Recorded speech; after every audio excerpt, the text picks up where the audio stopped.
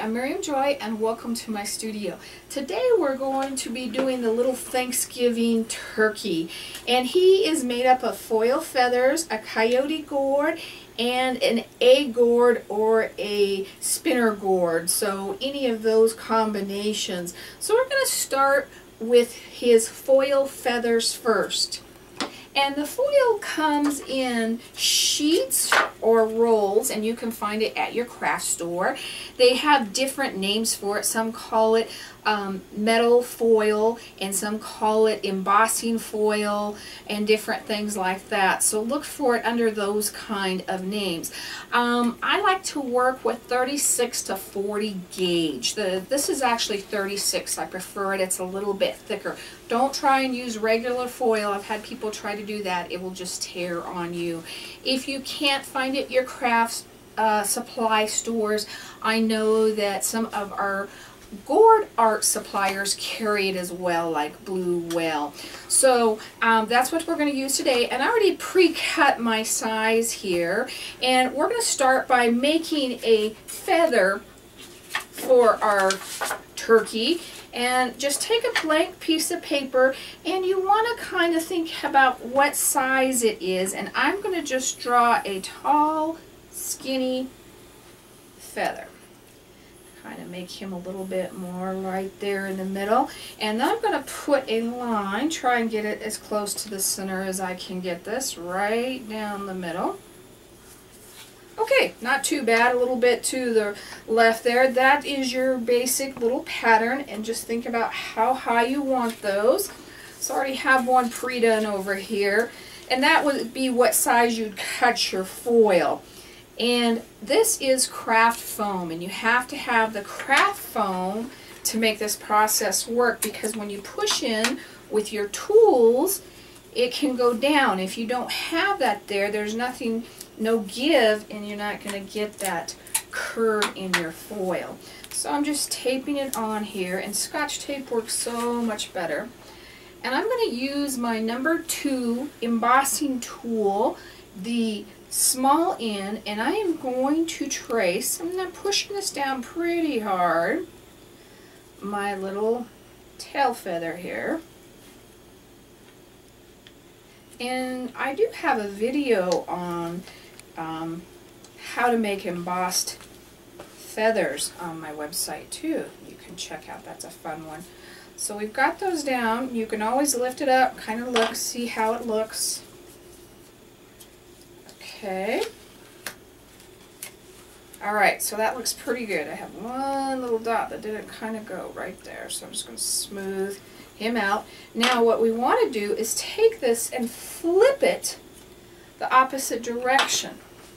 And I'm going to take my zero tool now, my small end, and we're going to start putting the little tail feathers in, and I'm angling them down the way a feather would go. And we're just putting all of these in. Now you can see I'm not going over the ridges. We're leaving the ridges there. You don't want to take away from that because we're actually going down where those ridges are coming up. We want to make sure that they stay that way. Go back to the top here.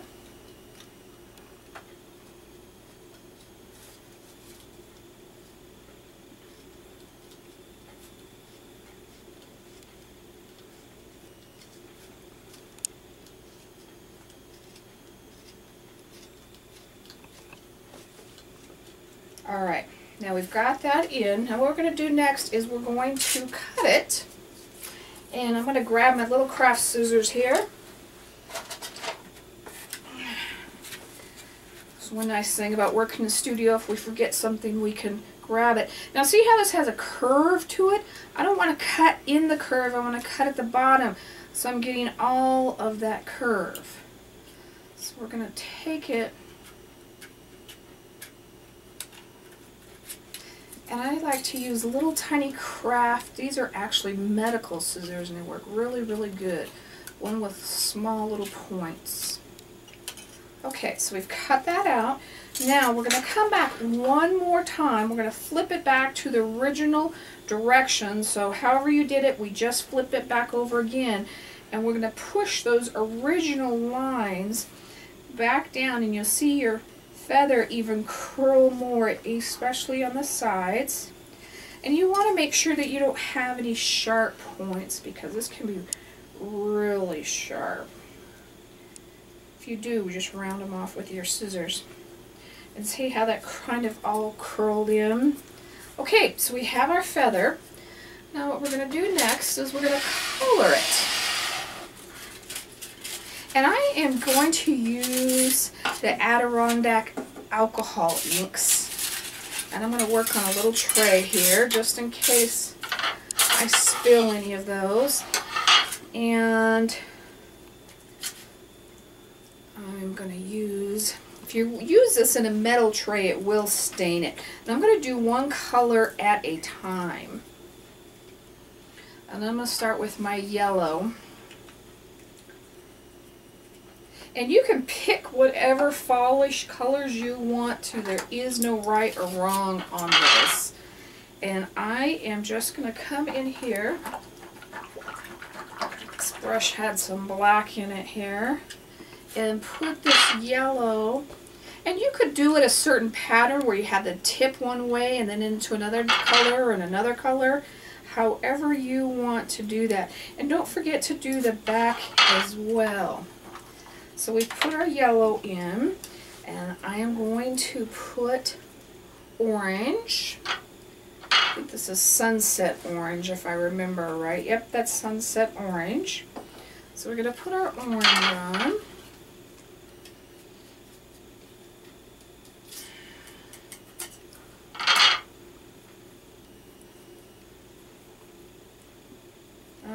so we've got our orange, and then I'm going to use red, and this is cranberry red.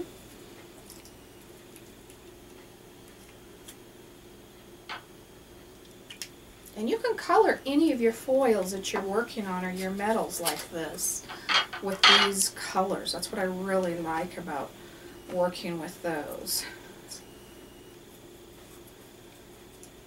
And with, I love alcohol inks so that you know me know that I really like the alcohol inks. I always tease that you can't screw them up. Now the last color I'm going to use as my base color, and I'm going to use it on my turkey, is Espresso. And I'm going to shake it a little bit because I have noticed, especially on this guy, the more he sits, the darker he gets. So, and I'm going to kind of come in and just do everything I haven't before, plus kind of blend all the colors in. Another thing you could do if you wanted to paint it like the tip one color and then take this right down the middle as well. But we're just going to kind of go between all the colors. There is no right or wrong on this. Do We just want to cover up the silver. If you also didn't have the alcohol inks, you could come in with acrylic colors and sponge them on and give it a texture. And I've done that before too, so that's fun to do. You don't have to spend the money on something you don't have. Okay, so we've got that guy all done. We're going to let him dry. And what we're going to do now is I cut seven of these feathers. And you could do the tail turkey in five if you wanted to. And I am probably going to move this. Can you see with that tray all right there? do we need to move it out of the tray? Okay. So what we're going to do is we're going to start putting our feathers together and we want to keep it I'm going to let him dry just a little bit longer. We want to keep it an even, or excuse me, an odd number.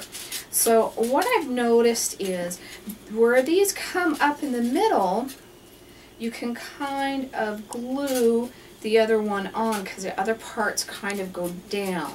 So we're going to kind of lay the feathers all on each other, starting at the middle of each feather.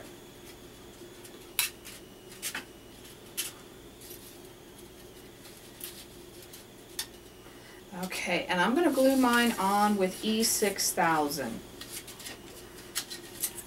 E6000 is that hard to glue anything, rock to rock, stone to stone glass.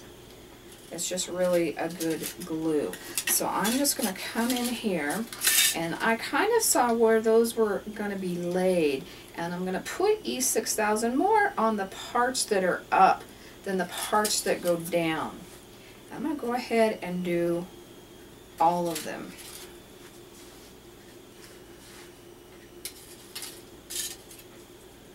Now those, that's the one in the middle, so we're not going to put glue on him. And then these, see how I put the ones on the left, on the right side. Now these are on the left side because those are the parts that are touching or coming together.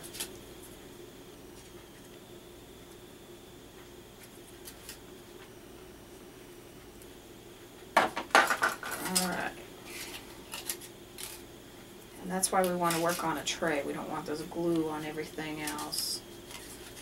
Put those two together and kind of push them down so that you have places of the glue. And I had kind of made my bottom of my feather a little bit flat, but you could make it pointed and bring it more into a point. There's nothing right or wrong about that. However you think that should go. And I'm just working on a cheap cookie sheet that I bought from the dollar store. They make really good little trays when you're working with your dyes or your glue gun. I use it a lot for my glue gun. Alright, we've got that all kind of tucked in and pushed down so that everything is touching and it will all be glued. At this point in time, I would um, make sure uh, I have a couple spots I noticed that aren't quite yellow. Once you make sure that it's all glued down, we're going to leave it for a while. Now, on your E6000, they really tell you to leave it for 24 hours and let it dry really good. And I know I've tried to rush this in the past and it ended up biting me. So I am going to let this dry, completely dry. And then we're going to come back and we're going to start working on the body. Okay, let's get started on the body of the turkey.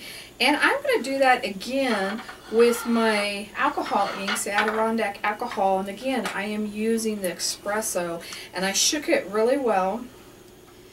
And you could base coat these with acrylic paint. But I wanted to get kind of a feathery look. So the first thing I'm going to do is I'm going to do the whole entire gourd. You're going to see different colors in it the more you work it, the redder it gets. See how we've got the blacks and the reds and the kind of almost orangish and yellow colors in this. It's really funny. All the fun colors you get. Of course, the longer it sets, the more it kind of turns a black color. I added just a little bit of water to that. Keep that a little bit lighter, and I'm going to add a little bit more water.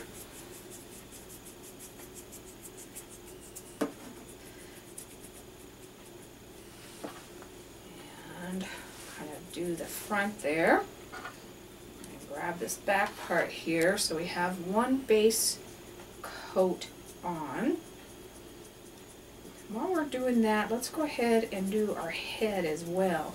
And on this one, I'm going to use a little egg gourd.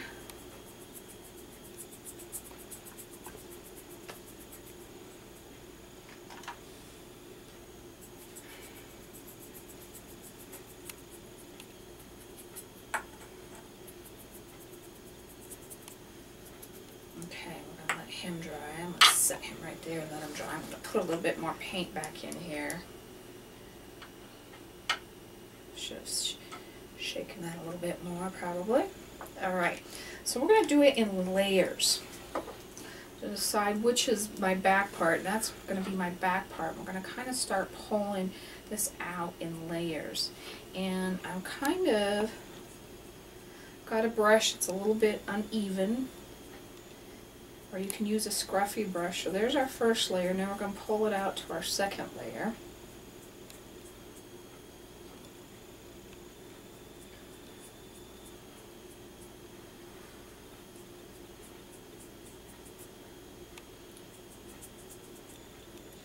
And like I said, you could base coat this if you want to, but I like the look this gives it. And then even after we do our Quikwood parts, I'm going to do the same technique after they're dry to them as well.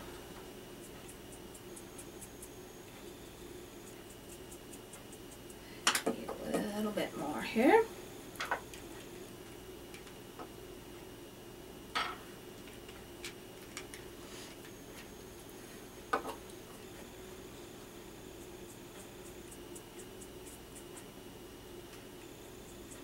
Okay, let's do probably two more layers. We're about on a fourth layer. And we're going to do kind of this last layer kind of covering in his tail right there. So we've got kind of a layered look there. So let's get busy and do our little guy over here. And let's start up here and work my way down. The thin part is going to be his neck. Like I said, if you wanted to use a spinner gourd, you could too. That kind of comes down into the neck part of it. I need just a little bit more dye here. Not too much. The alcohol, I hate to do it out too fast because it does evaporate too.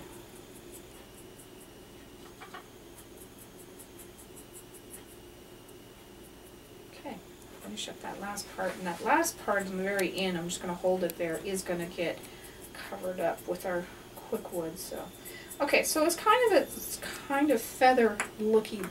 And you can see how the different textures and the different colors it gets from a yellow to a red to a black to almost a blue in this one. So you get all those different kind of feathery looks. So we're going to add our feet on. And we're going to use Quikwood. And I'm going to spray my hands with my vegetable spray here. And I'm going to wipe a little bit so when I put my feet on there, it doesn't stick to it. And I've taken all my rings off that have anything to stick to in them. And I'm going to remove my ends. And I'm actually going to cut two pieces right now. And these are for my feet, so that way I know exactly how much I use. Set that first one aside. Don't forget to pull the plastic off. That is so important. I can't tell you how many classes I do and people will ask me what is wrong and they are the plastic left in the Quikwood so make sure you get all of that out and if you haven't watched my Quikwood videos, I really suggest you do. There's a lot of really good information that we don't go into detail here. But to activate the Quikwood, we have to knead it. See, I still got some marbleizing color in here, so we still need to, mar to uh, knead it some more. So we're going to knead it some more, and it does have kind of almost a tuna fishy smell. So, which is not my favorite thing, but... Alright, now... I'm going to break a little piece off for his leg. And I'm going to roll this into a ball. And I'm going to hold it with my back finger and start to push it forward. So I'm getting, um, I guess, kind of a pear shape there. And depending on how big you want his feet to be, and you can even look at your little gourd. Now remember, this is what holds him up. So you need him to be big enough and to bounce the turkey. So what we do, after you've kind of got the shape you like, we're going to cut it so you have three toes. Now this one in the front's going to look kind of funny till we get done shaping them here. So go up in between each of the toes and bring them to a point. And make sure you get all of this stuff in here. Now we're going to bring, bring this guy into a point and he's going to come out and stick out longer. See how that worked? So we're just kind of bringing these guys to a point and that looks really good. And then what I'm going to do is I'm going to put a little line in them. Now this little guy is going to be kind of our base to give it some height. You don't have to do this, but it turkey sits up and shows its feathers off better. And what I'm going to do is I'm just going to take my knife here and kind of pull the clay down into the next layer. So that line kind of disappears and then I'm going to go around and kind of smooth that out with my fingers here. You also can use your wax tools. They work really good with this.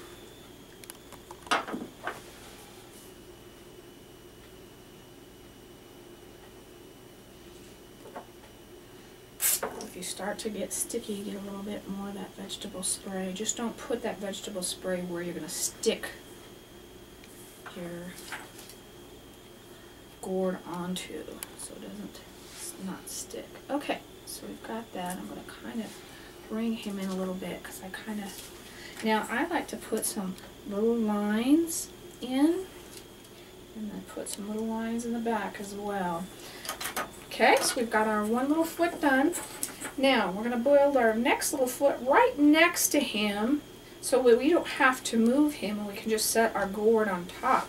So we want to really think about the placement of that when we do that. Now you see I didn't do that all at one time. Has about 25 minutes workable time. Now, it, the longer you get it before you get it onto your gourd, the fresher it is, the better it sticks. I guess is what the words I'm trying to say. So we want to always try to keep it, get it on there as soon as we can so we don't mix the next batch up. If you have any of it fall off, any of the clay, just glue it back on with E6000. It's not a big deal at all, especially if you've been working with it for a while and it starts to get dry on you. Okay, we're going to take that little bit off like we did before. See if that's about the size of the other one. Okay. Alright, now I'm going to I think I'm going to come over here, that way you can see and I can see what I'm doing. Start building that second foot. And like I said, think about where it is, because we're just going to put the gourd right on it when we're done with that. That was a little bit close on that one. Let's get that noisy thing out of here. Okay, now let's put our toes in. Try to think about them being as even as you can get them.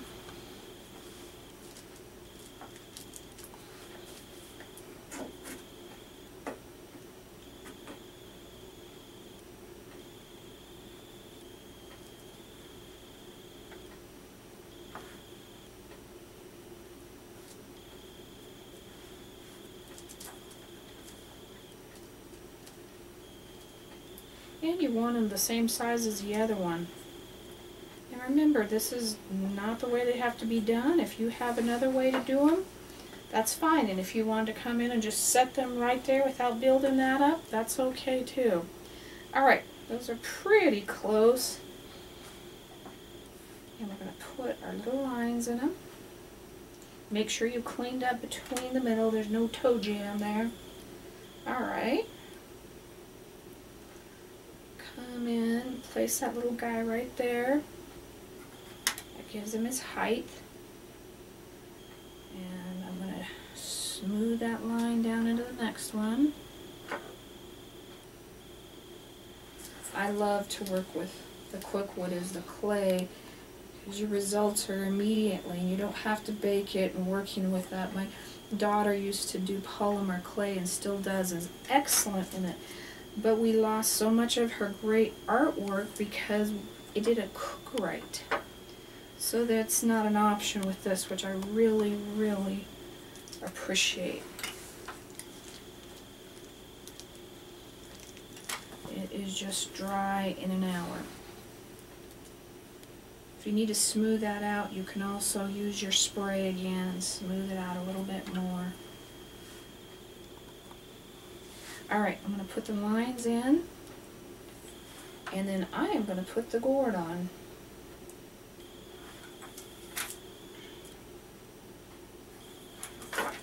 Okay, think about where's your front and what's your tail feathers, and then set him on there and think about his weight distributed.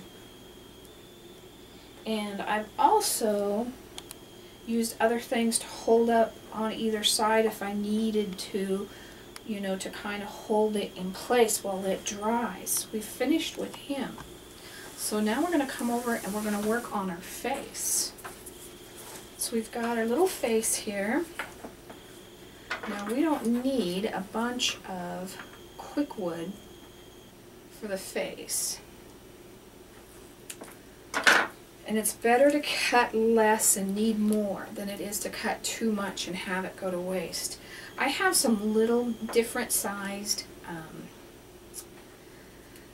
molds. So if I don't use my Quikwood, I can make little flowers or little bugs or insects or different things like that so it doesn't go to waste. I have some itty bitty ones up to bigger ones. So, Alright, the first thing we're going to do is we're going to put on his eyes. Now again, I try to take two pieces the same size because that's the hardest part. And make sure that they're the same amount.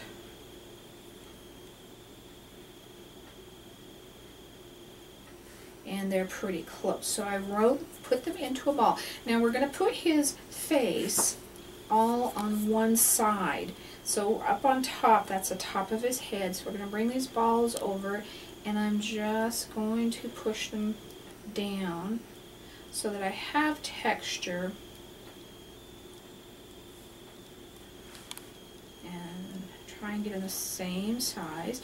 And if it doesn't work out, do it again. It's not a big deal. Don't worry about that. Now on this one over here, I did another little ball and pushed it on. Now that's harder to paint, so if you'd rather just leave it a flat surface, just leave it a flat surface and then we'll paint his eye on.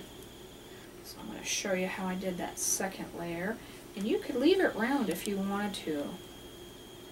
So we've got his pupil there. Alright.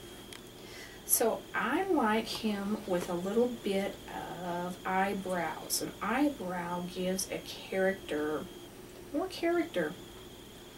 How's that for wording? You don't need a lot, just a little bit. And I kind of just rub it till I get the size I want and squish it into place. You can have one up, one down. You can study your eyebrows and see what's the surprise look or the happy look with the eyebrows. They distinguish a lot of the characteristics and things like that. So, and they really set the eyes off. Alright, now I have a little brush here. This was in my clay set. You could use a little toothpick or whatever if you wanted to. And I'm adding texture to those. So those look more like brows or hair or something there. So we've got some texture in that. Now I'm going to come back and I'm going to build his beak next. And I'm going to build the top beak first. And we're just going to start with a piece and kind of figure out how big you want it. Don't try to make it too big or too small for your piece. And all I do is start to bring it forward like in squares. So I squish it this way and I squish it this way. So I'm kind of making it a square coming out to a point with this part flat. So I'm going to try and set it on here. And I need to leave a little bit of room for his, I know this isn't politically correct, gobble wobble whatever we're putting on him, besides his wattle down here. So the little top part, red part that goes above this. So I have it a little bit to a point, and watch it a little bit while it's drying here. So this one comes down. Now our next one is going to be the part going up and it should be smaller. So this is the bottom part of his bill. And you could just do one if you wanted to and kind of even slice it a little bit so it needed, but I like doing it in two parts. See how that, there he is with his mouth open. Now this one is coming up. So we're bringing him kind of up now. See how I've got that one. Okay, we're going to do our two little pieces on top. And what I do with them, and I should have my wax paper down, but I moved it over for my feet that are drying. I leave one part long, do these in two pieces, and rub this one almost out to a point That little bit too. And one should be longer than the other side. And we're going to put that on one side there. And I'm going to lay this up on top here. And let's make the other one. And you can see I'm using my scissors to set my egg in. A lot of times, he's too small to set him into my vegetable spray lid, but a lot of times when I'm working with gourds or something like that, I set them in there to hold them while I'm working on. So if you have an item like that, that works really good. Okay, remember what I said about these being different lengths. One can be bigger and one can be littler. So...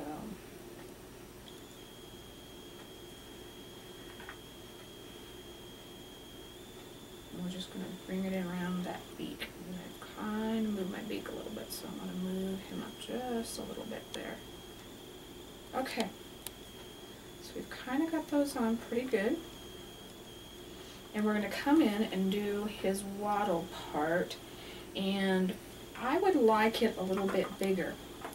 So what I'm going to do is I'm going to cut just a tiny strip more and I'm going to take what I have now and work it back into this new piece.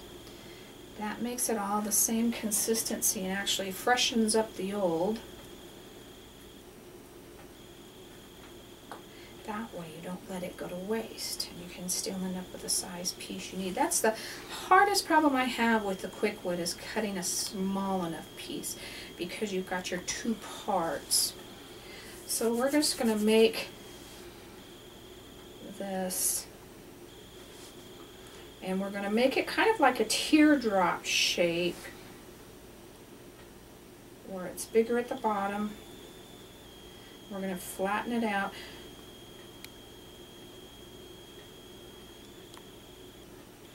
Now what I like to do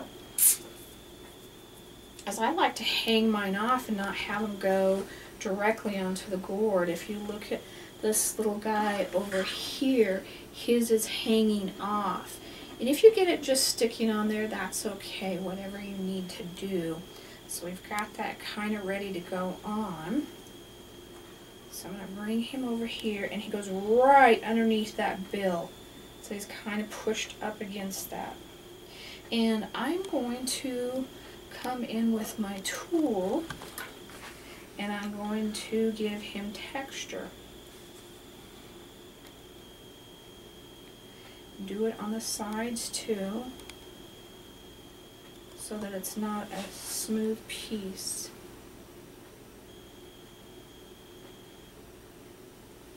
And then what I do at this point is I pull it off and I find somewhere where I can set this and this can continue to dry just like that. So we're going to let this guy dry a minute and I'm going to come and show you how to attach it to the body. Okay, I've actually switched little heads here because this guy's completely dry and you'll notice he's a spinner so I just want to to point that out, I've used two different types to kind of give us a variation of what we're doing. Also, instead of the coyote gourd, you could use one of the small little gourds that kind of came to a point in the back here, or you could use a can, a mini canteen, not canteen, excuse me, cannonball gourd, whatever kind of works in the shape. But you know, the ones that kind of come up a little bit here with the tail feathers would be okay too. So what we're going to do now is we're going to put the head onto the body. So we're going to take quite a bit of clay here. Again, make sure you get all that plastic wrap off. And we're going to need it.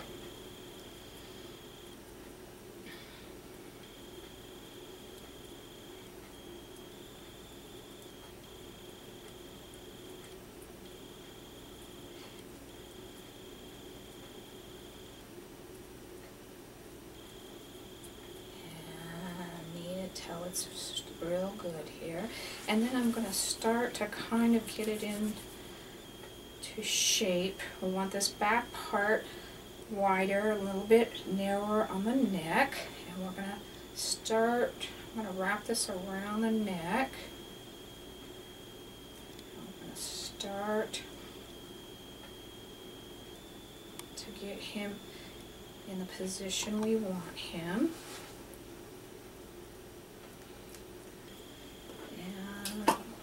Spray my hands here again. And I don't have my apron on. Shame on me, especially a good shirt.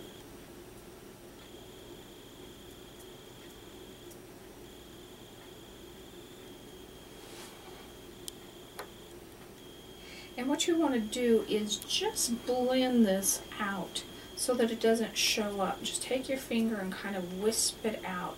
So once you come back in and paint over that, it's just going to disappear. And I just use the alcohol inks again and just do it the same way I did the head and the body and just do it in layers and I think it blended in pretty well. I didn't think that showed up too much at all. Now, right there we want to make sure that we keep the vegetable oil off of that as well as we can just wiping it on my paper towel a little bit. Now we want to kind of bend this back part a little so that his head is coming up. Now this is probably the toughest thing about the whole process is getting that. And you may have to work with it a little bit while it's drying. And don't be afraid to position it a certain way and you may find that one type of gourd, the little gourds work better than the other gourds for you.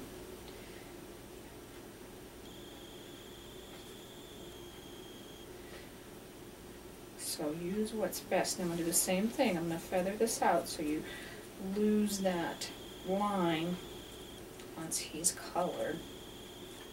You can also use a little bit of water if you need to too. It'll help smooth that out continue over back here.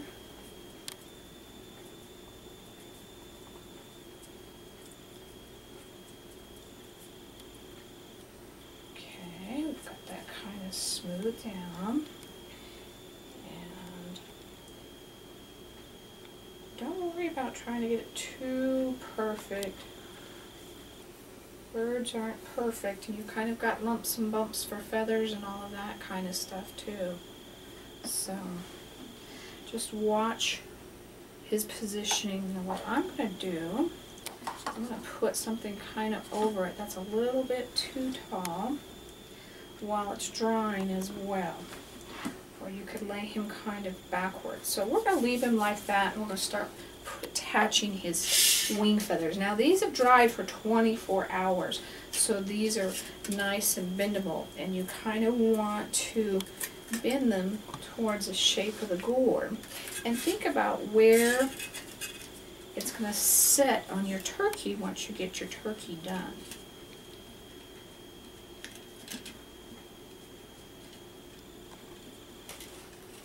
I think that works pretty good kind of setting him up and letting that kind of dry that direction. Don't be afraid to work it a little bit and make sure he doesn't lose his position. And kind of look at him from time to time, make sure he's not too far up. So we're going to get these turkey feathers on, and I think the best way to do that, because you've got so many layers there, is I'm going to put them on with Quikwood.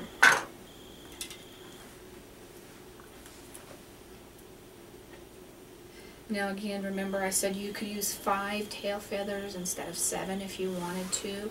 Don't worry about that, whatever you want to do. So we're going to get this clay all on. All blended together. And you don't need a lot of this. I may have even cut more than I would like to use on this. And you don't want to bring it all the way over. I'm not going to put on the last two tail feathers, kind of see where it sits and where you think that you need it. You don't want it to squish out below that area right there either. So we're going to take our little turkey and kind of see where his little tail feathers go back there and I am going to squish them on. I'm going to bring them down a little bit more even squish that on him. And make sure that that looks nice and even. And you can bend it a little bit more, the foil, however you want that foil to go, or you think it should go, if you think it should curve a little bit more. Now, you can see just a tad of white right there from the clay. Just take your um, brush with a little bit of the ginger alcohol ink on it and um, cover that up and I think those are too high so I'm going to move those. And again that's a great thing with the quick is you don't like something you take it off and do it again. So I think those were too far up. I'm going to make sure I get them nice and even and more more straight down. Which I like that better Okay, so I think we've got him pretty well done. I'm going to talk to you a little bit about the painting because trying to do that all in a video would be another 30 minutes or so. So we're going to set him there and we're going to grab our little guy here. So we've already got his body and the feathers done, which is awesome. We don't have to paint any of those. I came in with a golden or an empire yellow and base coated his feet in the brown little nails on his feet and the lines I used a medium brown. I base coated his wattle red. I put a little bit of red in his beak. The beak is the same golden um, uh, yellow or empire gold as his feet are. Now when you get to his eyes you want to start by doing all of them white first and put a couple of layers on. And then I came back and made a smaller circle which would be the inside um, part of his eye. And then of course the very part would be last would be the pupil which would be black. So we do that. And then I also did the eyebrows black. I sponged a little bit or stippled a little bit of the gold on his eyebrows to offset them as well as white on his wattle in the tops of his feet for highlights. And I took a little tiny liner brush and gave him a reflective light in the eyes. It's really important to give the reflective light to the eyes. If you don't want to make a little line, just do a tiny, tiny little dot with your brush or your smallest embossing tool or wax tool, whatever is um, there for you to use. But when you get all done, you have your wonderful little Thanksgiving turkey and it'll be one that you'll have around for years to come. I hope you really enjoyed him and had fun making him. If you have any questions about what we did today, please email me at art at miriamjoy.com for any of the products we may have used. You can visit our website at miriamjoy.com. There's also that link where you can jump over to watch more of these fun YouTube videos as well as the Facebook link and you don't have to be a member of Facebook. You can just jump up over onto that website and there is something posted new for you every day as well as fun contests. So thank you for joining me today and God bless.